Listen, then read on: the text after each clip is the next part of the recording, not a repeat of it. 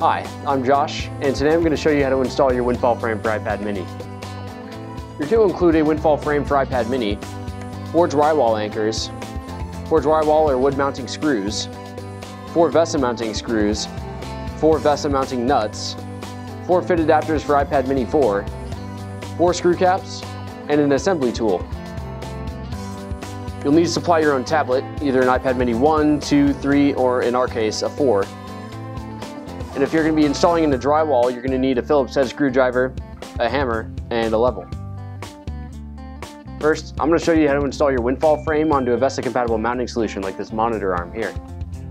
First thing we'll need to do is take the bezel off of our frame. We need to use our assembly tool to take out the screws.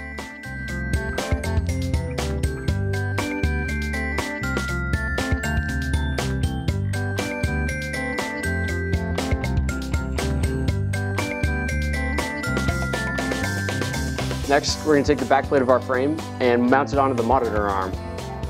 To do so, we're going to need our VESA mounting screws. We're going to thread the screws through the back plate of our frame and through the plate of the monitor arm.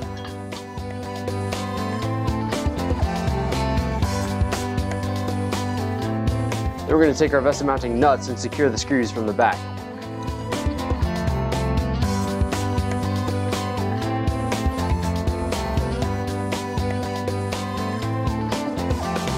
Now we can install our tablet. If we're going to want to power our tablet during use, now's the time to install our lightning cable. We've included small mouse holes here in the back plate of the frame to allow us to channel our power cord through our frame into our tablet. So we're going to run it up from the bottom and let the cord rest in one of the mouse holes here. In addition, if we're going to be using a Kensington ClickSafe cable lock, now's the time to install our ClickSafe anchor. We're going to take the ClickSafe anchor that was included with our cable lock kit and the assembly tool and install it into the back plate of the frame.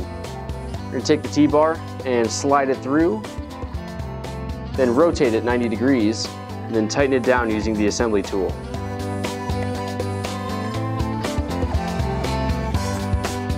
Since we're using an iPad mini 4, we're going to need to use the included fit adapters. We're going to place the fit adapters in the small notches in the back plate of the frame.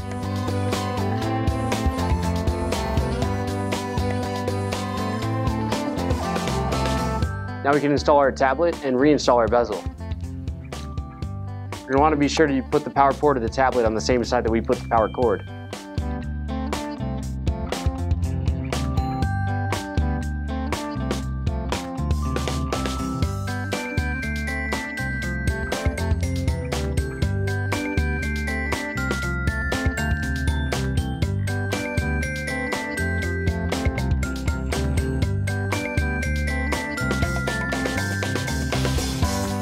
For one of the final touches, we're going to take our screw caps and cover up the exposed hardware in the rear like this.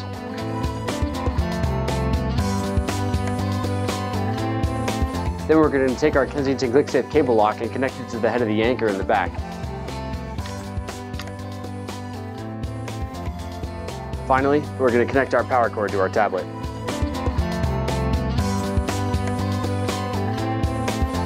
Our tablet's powered, our frame is secure, and it's ready for use. To install our WindFall frame onto a drywall, the first thing we'll need to do is to install our drywall anchors.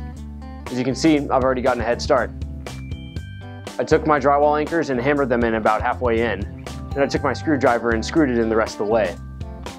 Now we can install the backplate of our frame onto our drywall. We're going to take the backplate of our frame and the long black mounting screws and install it into the wall.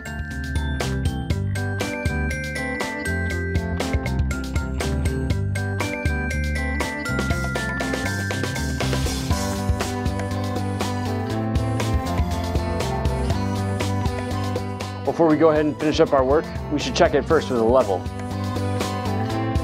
Perfect.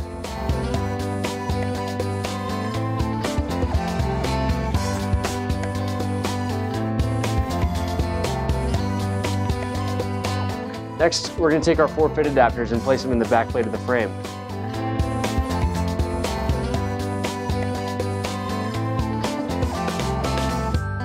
Then we can install our tablet and reinstall the bezel.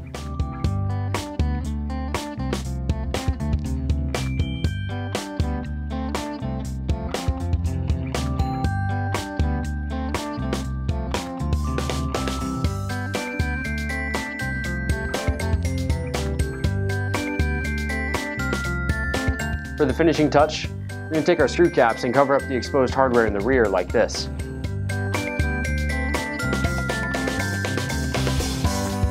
Our tablet's secured, our frame is installed, and it's ready for use.